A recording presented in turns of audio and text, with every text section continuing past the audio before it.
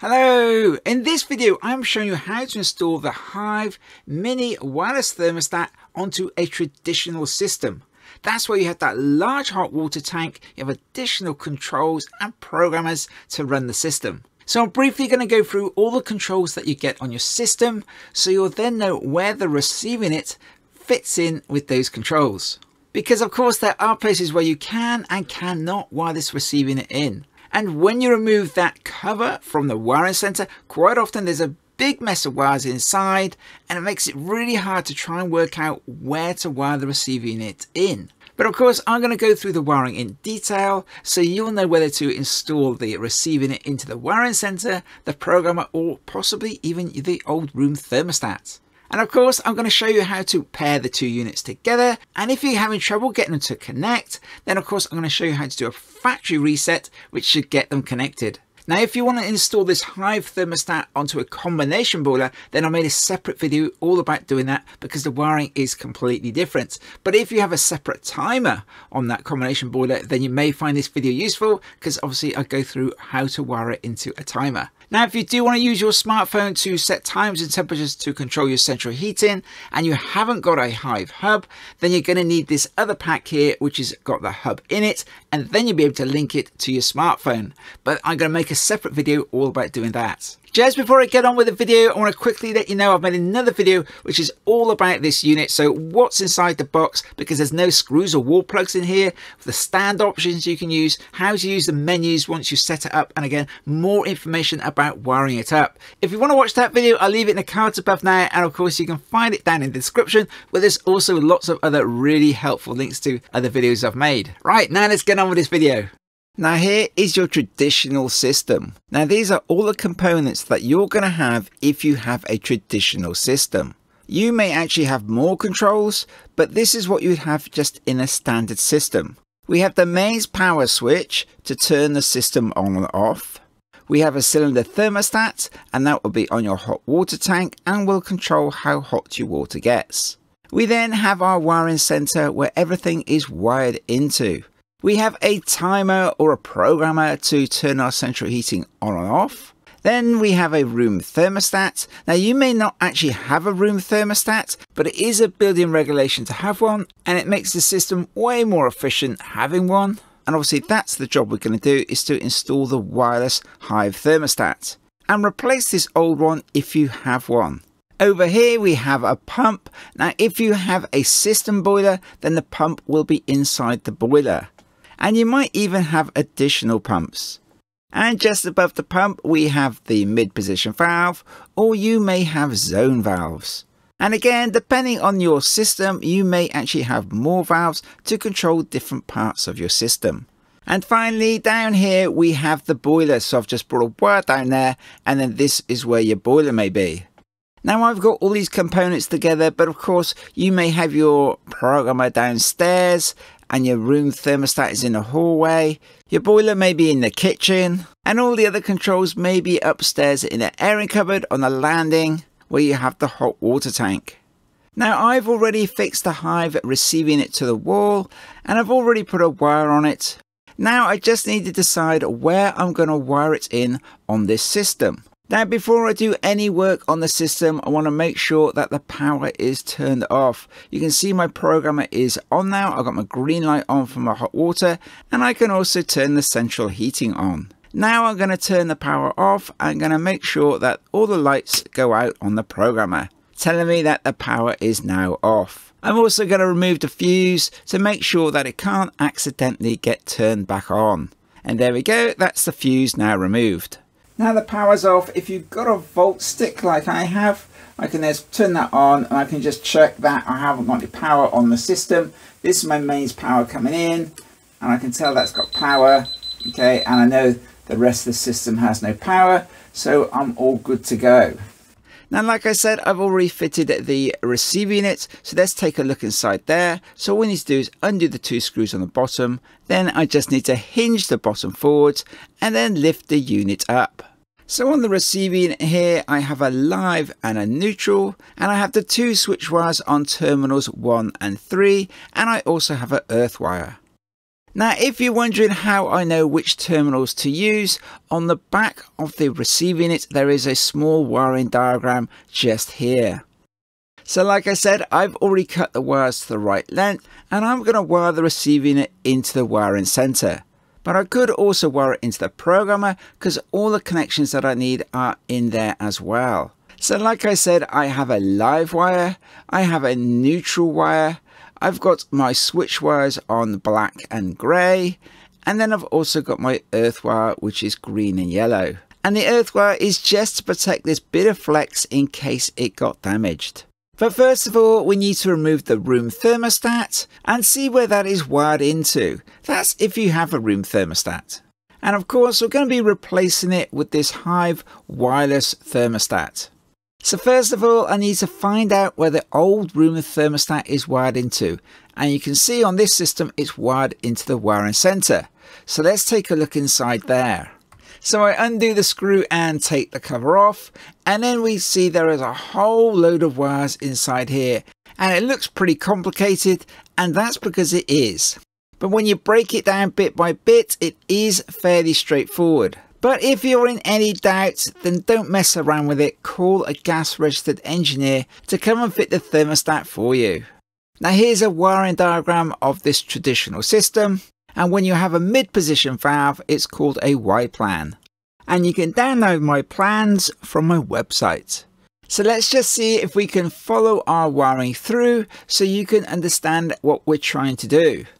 So here's the mains power coming into the system. So it comes into a wiring center and then that power is then divided around the components on the system. So I always like to think of electrical wiring as being like a piece of string. The electricity comes in one end of the string, it goes along the string, and it comes out the other end of the string. And if that string gets cut anywhere, then it stops the flow of electricity. So let's see if we can follow this circuit through. We have a live wire coming in here. It goes into the wiring center where it goes into the live terminal and then the live comes out and it comes down this wire here down into the programmer because the programmer needs power to run. So we've got a live coming in there.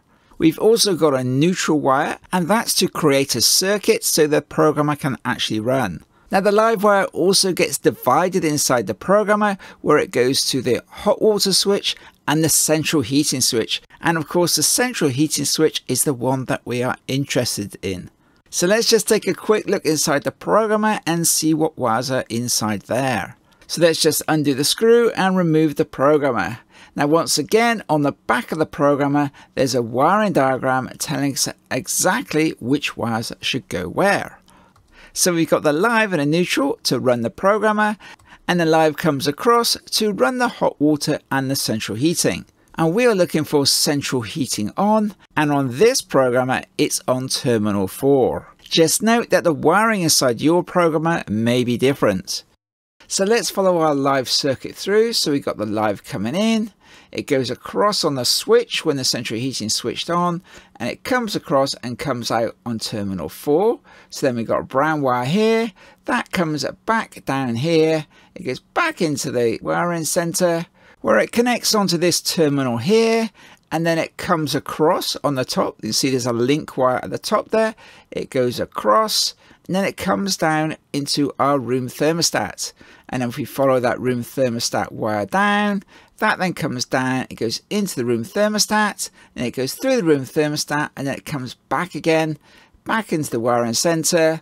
Again, there's a little link on the top there. The link goes across, and it comes back down and it goes onto the white wire which is on our Drayton mid position valve. If you have a Honeywell valve you would also use the white wire that then powers the valve and the valve moves into the central heating position. When the valve reaches its central heating position, it would then turn the boiler on. Let's just take a quick look at the wiring inside the room thermostat. Again, thermostats can be different the way they're wired in. So we have a live coming in. Now this thermostat needs a circuit to make it work. So there's a neutral and we've got a switch wire coming out on this terminal just here where it goes back to the wiring center. And again, there's a little wiring diagram on the back of the room thermostat. Now you may have a thermostat like this and it's only got two wires in it. That's perfectly normal and I'll go through that a bit further on. Now, depending on your wiring center, you may have a wiring diagram on the cover of the wiring center. I do really like this Drayton wiring center. It's got that nice clear diagram on it, so you can just jog your memory when you're trying to remember what wires may be. All the wires are individually wired in, which makes it much easier when fault finding. Even though there's a wiring diagram, you can't take it that the wires are in the correct place. So that's why it's really important to follow the wiring through. Just to demonstrate that, here's a traditional system. We've got a wiring center there. And then down here, we've got another wiring box. Now for me, this is all pretty straightforward because I see these systems all the time. So first of all, I'm going to find the programmer and then follow the wiring back to the wiring center. Now, as I said before, I could wire the receiving it into the wiring center, or I could wire it into the programmer, because all the wires that I needed are in the programmer and also in the wiring center. Now this old room thermostat, it could be wired into the programmer or it could be wired into the wiring center. And on this system is wired into the wiring center. So that's where I'm going to be wiring in the receiving it into the wiring center.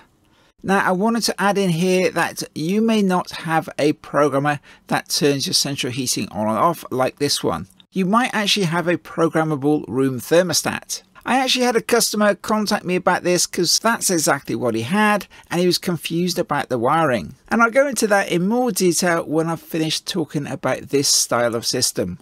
Now when we come to wire in our receiving it, we're always looking to wire in after the programmer or your timer. So here's our programmer here and the switch wire for our central heating is on terminal 4. So we're looking to connect the receiving unit after terminal 4. Now the colour of that wire on terminal 4 is brown and if I follow that wire back to the wiring centre it comes up here into this centre, it goes across the top there and down into this connection here which is the existing room thermostat. And this is where I'm going to wire in the new switch wires on the new receiver unit. One thing I highly recommend that you do before you go taking your wires apart is to take a photo of your wiring and get up close or even do a video so you can see exactly which wires go where. So now I know I'm happy with which wires are which, so now I'm going to remove the old room thermostats. So my thermostat switch wires are brown and grey and they're on terminals 2 and 3. Of course, in your wiring center, the terminals may be completely different. And I've got a neutral wire just here, and I've also got an earth wire just there. Now I'm just going to remove one of the screws and just rotate the cable clamp around so I can get to that wire nice and easily. So now I can remove my earth wire just here. Then I'm going to remove the neutral wire just there. Now I'm left with my two switch wires. So now as I remove these two switch wires, I'm going to connect the new wires from the receiver unit. So I'm going to start with heating on, which is connected onto this white wire, which is on the mid position valve. And if I follow it round, it comes to the grey wire here. So I'm going to disconnect that grey wire like that. Now I can take my switch wire, which is on the receiver unit on terminal 3, and on this case it's grey. So I'm going to take my grey wire, I'm just going to twist the end around to make it a nice clean finish, bend it over like that, and then I'm going to pop it into that terminal just there. In this case it's terminal 2. do it the screw, and that's that connection now made. Give a little tug to make sure that it's nice and tight in there. Now I can take my other switch wire, which is power, on terminal 1 and the receiver box, and in this case the wire is black. Clean up the end again like that, fold it over, and now I can remove the final wire from the old room thermostat. This wire is also black, but again your wires may be completely different colours. I can now completely remove the old thermostat wire, and there we go, that's now gone. And now before I forget where I am, I'm going to put my new switch wire into that same terminal and do up the screw. Give it a little tug to make sure it's secure. And there we go, that's my switch wires now connected. Now all I need to do is to connect my other three wires. So we've got a neutral wire, we've got the live wire to run the unit, and we've also got an earth wire. Now you may be wondering why I've cut this live wire really long. That's because I've got live coming in here and that term was a bit hard to get to. Then it comes across here, we've got a wire that goes up there into this terminal block here, which is then live. And then I can easily just connect the live terminal in the top there. So that's where I'm going to put it. So I just do the same again, twist the wire, make a nice smooth finish, bend it over and then carefully put it into the terminal and do up the screw. Give it a little tug when I finish to make sure it is nice and secure. So that's my live wire now connected to run the receiver unit. Now I'm going to connect the earth wire. Now you may be wondering why I've left that really long. And that's because your earth wire should always be the longest wire in case the wires ever get pulled out. And then hopefully the earth wire will always be the last one to be pulled out. And the earth wire is here to protect the flex just in case it ever became damaged. So I'm going to do exactly the same again. Twist it round, fold it over, put it in the terminal and then do up the screw and give it a little tug to make sure it is nice and secure. So that's my earth wire now done. So that just leaves neutral, so exactly the same again, twist it round, fold it over, put it in a neutral terminal, do up the screw and give it a little tug to make sure it is secure. Then I just fit my cable clamp, so now I can refit the programmer, like that. I can then fit the receiving unit, so I just slide it down onto the backing plate like that, hinge it down and do up the two screws underneath. I don't need to do these screws up tight, just need to nip them up so they're not going to come undone. So now it's all wired in and ready to go. So I want to test that it's working and then pair the thermostat to the receiver unit. So first of all, I need to replace the fuse. So there we go, put the fuse in and do up the screw. So now I'm ready for the moment of truth, power on. So I switch the switch on, and there we go, everything has come on, my programmer's on, and the power light is flashing on the front of the receiver unit. Two quick flashes and then one second off. And then I want to put my central heating on, so let's select that central heating on, a green light is on now, but then my central heating is not going to run yet because obviously the new receiver unit is not telling the heating to come on.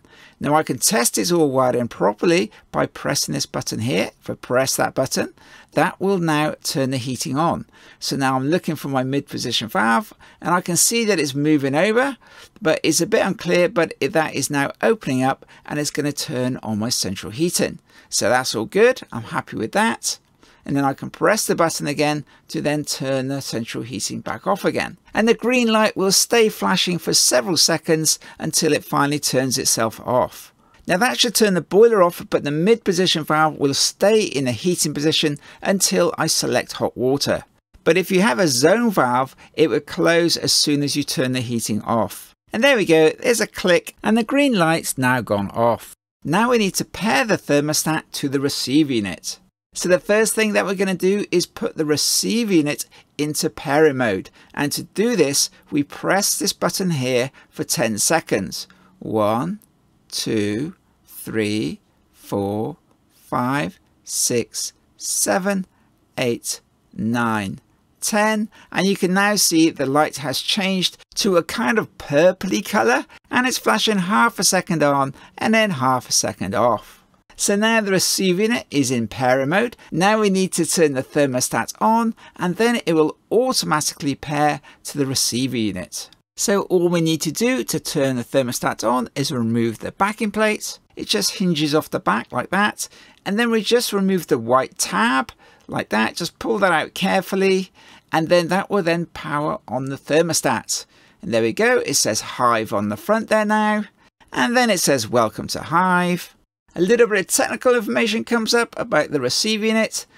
And in just a second, it's to start searching for the receiver unit. And there we go. It now says searching and there's a little timer counting down. Now I know that the thermostat here will connect to the receiving unit in 20 seconds and as soon as it connects the flashing light on the receiving unit will turn to a solid green. Then you know it's connected okay and then the thermostat is all ready to use.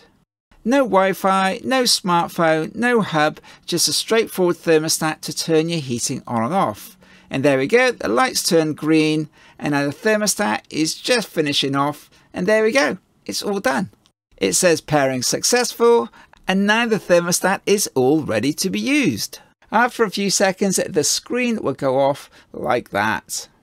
So to operate the thermostat all we need to do is to press the middle button, which would then light the display up and it will show us the actual temperature and it says heating off. We can then touch one of the arrows to turn the temperature up and down. Now I'm going to turn the temperature up like that to bring the heating on. You can see the temperature is rising on the front and it also says target. So that's the temperature that we're setting our room to. So there we are. I'm going to set it to 26 degrees.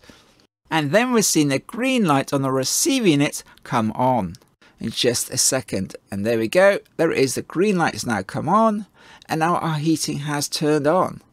If we want to turn our heating off or turn that temperature down lower, all we do is to press or hold the arrow on the left and then the temperature will start going down.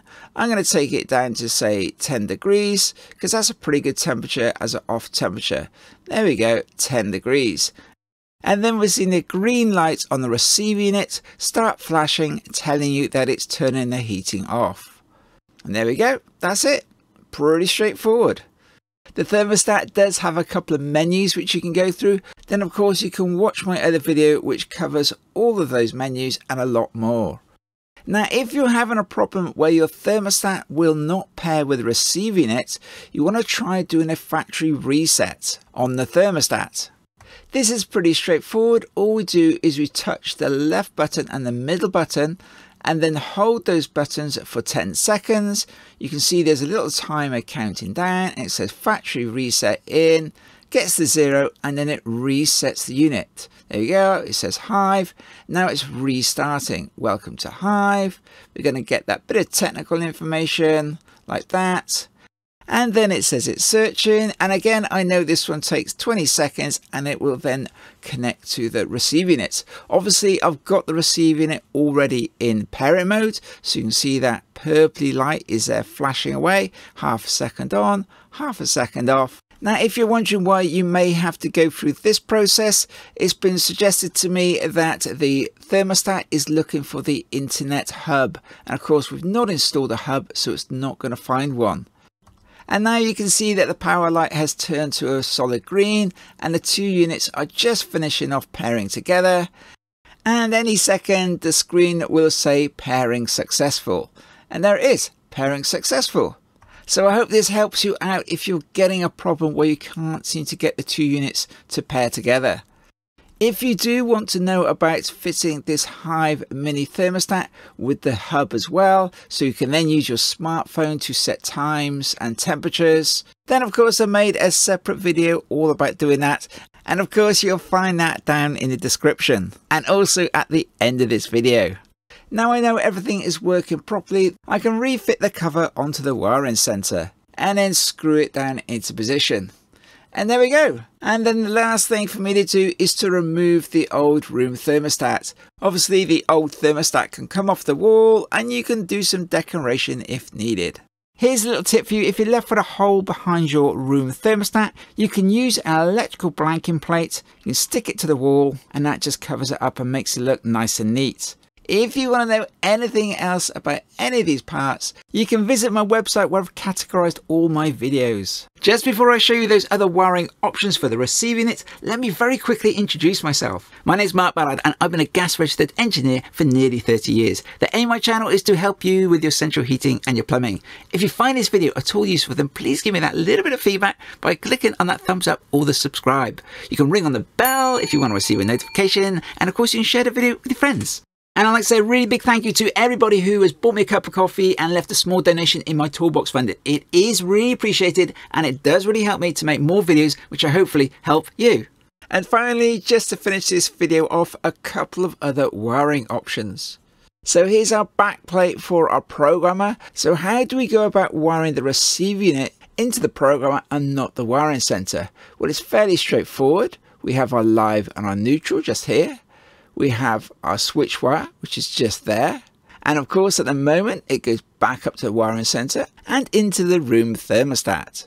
Now here's our wires coming from our receiver unit. And of course, we got a live and a neutral. So obviously they would go onto live and neutral. We got our earth, which would go onto earth. And then we got our two switch wires. Then we take our switch wire in and put it onto the central heating terminal and then join the central heating wire with the switch live out on the receiver unit. So now I've wired in my receiver unit into this programmer. So here's my live and my neutral. So those are now linked up. So the receiver unit has now got power. I've got my earth wire to protect the flex. And then I've got my switch wire, which is going into the receiver unit. So as the power comes out from the programmer, it then goes into the receiver unit. And then I've linked these two wires with a terminal block. So that's then switched live out from the receiver unit, which is then going into the old central heating on wire, which then goes back up to the wiring center.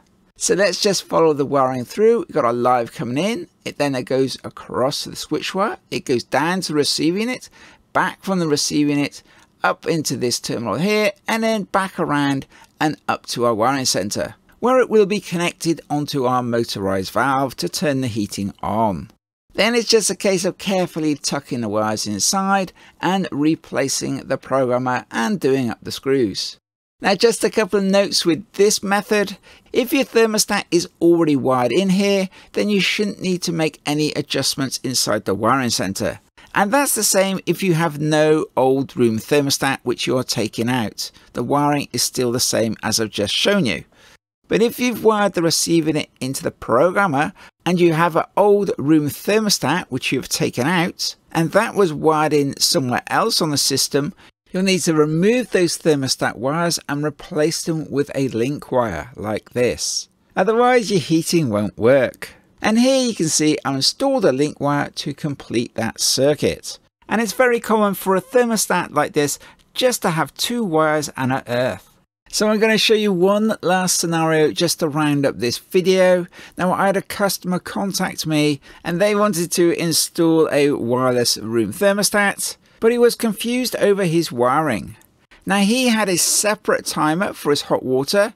That's why I've just put this piece of paper here to cover up that central heating switch. Instead, he had a programmable room thermostat like this one here. And this programmable room thermostat has batteries in it, which means it has power all the time. So you can see I've got full operation of this programmable room thermostat without the need for a power supply. When he removed that programmable room thermostat, he found he only had two wires connected. So how would you go about wiring the Hive receiver unit into this thermostat? Well, if you've only got two cores and an earth, then you can't do it you'd have to find somewhere else to wire in the receiver unit. But if you have a 3 core on Earth, then it is possible, but I wouldn't recommend it, and I'll explain why in just a minute. So here's that third wire, and it's not been connected, and if you follow the wire back, you can see it's not connected here either. It's just curled up inside the wiring center. So let's just follow the wiring through so we can understand what we're doing. So we got our live coming in. So this is the mains live coming into the central heating system. And then I'll put a link wire in here. So we then we got 230 volts comes straight in here, across the top here, down the switch wire and down into the thermostat. So we've got 230 volts coming in here. It goes into the thermostat, through the switch on the thermostat, and then it comes out the other side all the way back round our switch wire. It comes up here. We've got a link wire there, bringing it back down onto the white wire, which would then be connected onto your zone valve, or in this case, the mid position valve. So here's how that wiring would look. We've got our live coming in, and then I've put a link wire from live across the terminal one. So now I've got power onto the switch wire. Then it goes through the switch on the thermostat where it then comes out on the grey where it goes back to the zone valve or the mid position valve. But importantly, I've now connected up the additional wire, so I've got a neutral wire here to complete the circuit and run the receiver unit. And of course, I've then connected the neutral wire in the wiring center as well. So there we go. I hope that makes sense. But I would not recommend using this method because you can't tell whether this wire, which runs back to the wiring center, has been cut or modified over the years in any way. And as I'd be checking the wiring inside the wiring center anyway, I might as well wire it in the receiving it into the wiring center right from the off. And then that gets rid of that old wiring which goes down to the old room thermostat. Now, if after watching this video it's still as clear as mud as to what wire should go where, then I really do suggest that you call a gas registered engineer to come and install it for you. Right, that's about it then. So I do hope my video has been helpful to you. If you want to watch my video on what's in the box, the stand options and more wiring, you can click on that link just there. If you want to watch my video on installing it with the Hive Hub and then using your smartphone to operate it, then you can click on the link just there. And as usual, you can click on subscribe, ring on the bell, share it with your friend, give me a thumbs up and a cup of coffee in my toolbox fund is always really appreciated. Bye for now. See you next time.